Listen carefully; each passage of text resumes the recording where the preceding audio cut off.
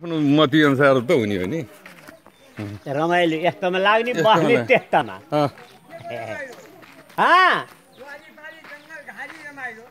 रमाइलो रमाइलो यस्तो देख्न नपाइने उहाँ कहाँ पाउनु लाखौँ खर्च गर्नुपर्ने यस्तै हेर्नु त।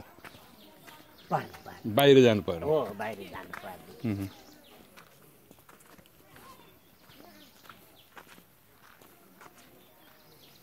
चिन्डीमा खाने कि चुरोट खाने?